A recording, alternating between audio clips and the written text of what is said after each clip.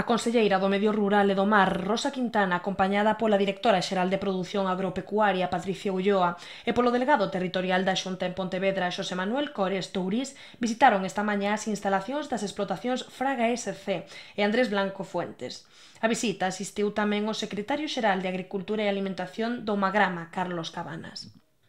Eu lle agradezo non só a súa visita, non só o seu compromiso co sector lácteo, sino que a, a sensibilidade que ten demostrado tanto a ministra como todo o Ministerio a hora de desenvolver os regulamentos que, constitúen o que nos chamamos a, a política agraria común, que se teñan eh, feito especial atención ás propostas de Galicia, ás necesidades que ten o noso sector para sair adiante, pois é algo que el seguramente nos comentará, pero que eu por anticipado lle agradezo. Son conscientes no Ministerio que é un sector clave para o desenvolvemento económico da Galicia rural e, polo tanto, esa sensibilidade se plasma en toda a defensa que dentro do Ministerio se fixo diante das instancias comunitarias e ahora mesmo eh, no desenvolvemento desenvolvemento dos reales decretos que son precisos para organizar de todo, todas as axudas que teñen que ver con este sector.